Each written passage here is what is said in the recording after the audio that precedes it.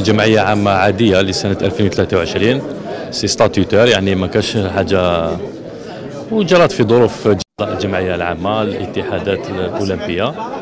والحمد لله. أن الجمعية العادية للجنة الأولمبية آه، مصادقة على التقرير الأدبي والمالي. آه، الحمد لله في ظروف جد حسنة ظروف عائلية أخوية. نشوفوا أنه اللجنة الأولمبية على رأسها السيد عبد الرحمن حماد.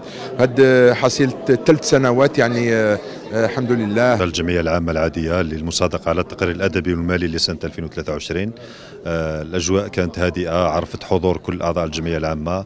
كانت أجواء مميزة بحضور آه، كل مكونات الحركة الرياضية.